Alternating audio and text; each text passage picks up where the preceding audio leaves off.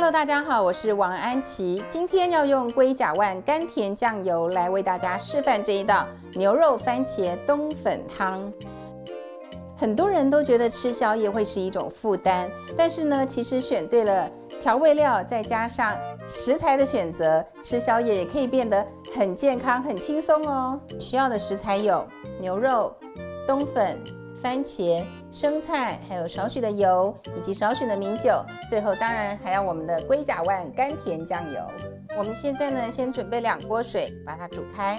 接着呢，我们要腌拌我们的牛肉。首先呢，加入少许的油，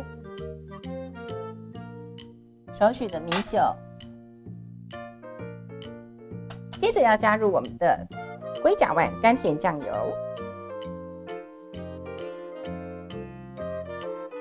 因为龟甲万甘甜酱油在甜味的表现上呢比较明显，所以呢这个时候把它腌拌在牛肉里面呢，可以增加牛肉的鲜甜滋味。现在呢，我把番茄放入锅中，煮到它的皮脱落，我们再把皮取出来就可以了。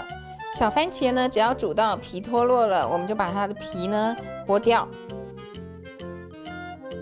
把牛肉放入穿烫，穿烫一下子以后，我们就起锅，不要把牛肉烫得太老。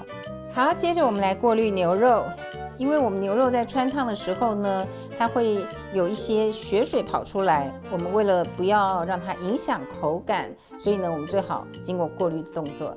接下来我们来准备切洗干净的蔬菜，蔬菜呢，我们就切成适量的这个大小就可以喽。我们现在要来放冬粉，把冬粉放入我们准备好的番茄高汤里面，把它煮软。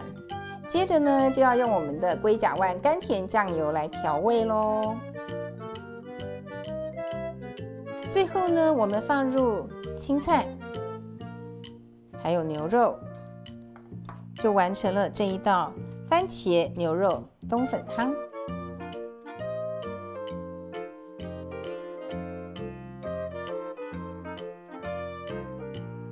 这就是我今天为大家准备的牛肉番茄冬粉汤。